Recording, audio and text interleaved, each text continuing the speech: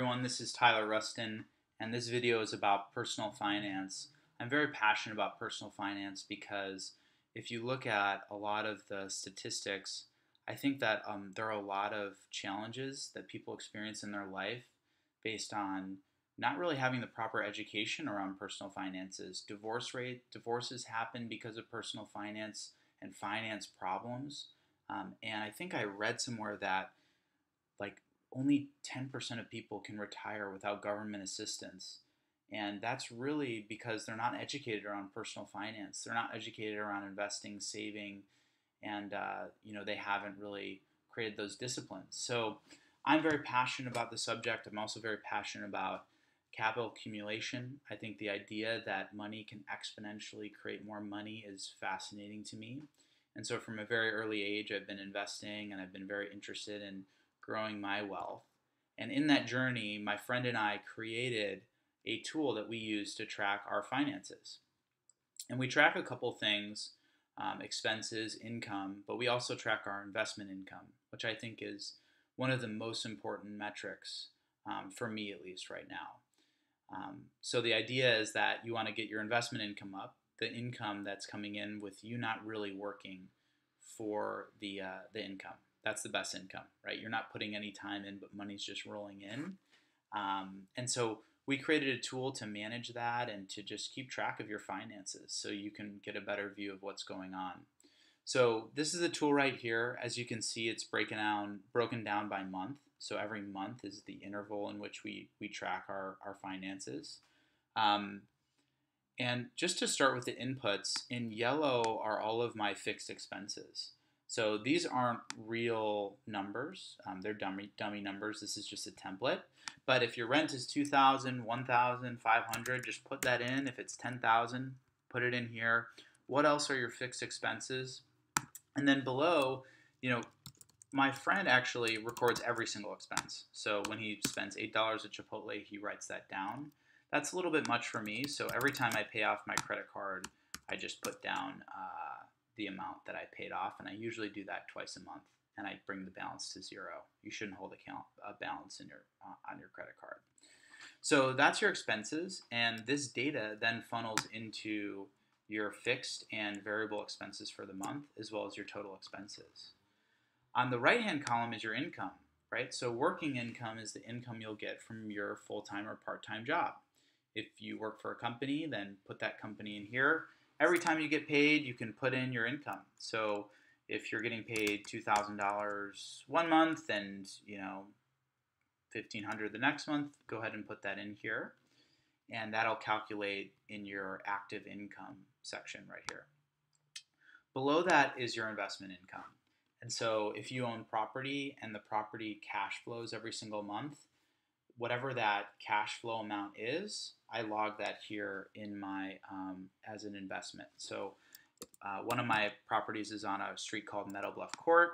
Um, so you put Meadowbluff Court, you can put the cash flow per month, um, and so you can put the properties in here that you own. And if you don't own any, maybe it's a good motivation to start saving for a down payment to be able to do that. Um, I also invest have invested in private equity deals. So if you do any private equity and you get quarterly distributions, what I do is I take that quarterly distribution, I divide it by three because there's three months in the quarter, and then I multiply that by 65% because I know at the end of the year I'm going to have to pay taxes, and I don't want that to be accounted for um, because I don't think it's a true representation of the actual value I'm gaining. But whatever that number is after I take taxes out of it, I put that in here.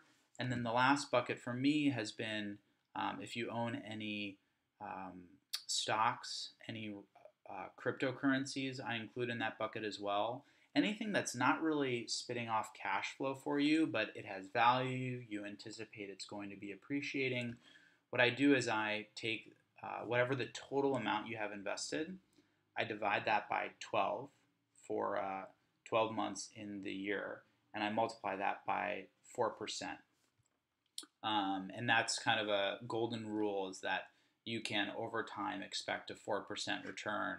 Now, I'm shooting for a way higher return than that, but as far as like recording that as income, I think being more conservative is the best way to go about it.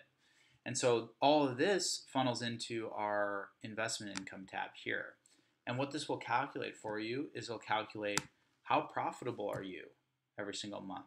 You know, if you think about yourself as a business, are you spending more than you're making? You know, that's not a good situation. And, uh, you know, or are you saving a good percentage of your income? So, how much are you saving dollar wise? And also, what percent of your income are you saving? Are you saving 10%? Are you saving 50%? Are you saving 75%? I recommend trying to get above 50%, right? Cut your expenses, work hard, try to boost your income, and save more than 50% of what you make. Um, and then below that is something that I call the freedom meter. And the freedom meter is your investment income against your expenses. And the idea is if your investment income equals your expenses, you don't need to work anymore. If you just want to maintain the current lifestyle that you have, you could retire and uh, not work ever again. Now, me personally, I don't think I'll ever retire. I absolutely love working and uh, I like the way that in which I can contribute to people through my work.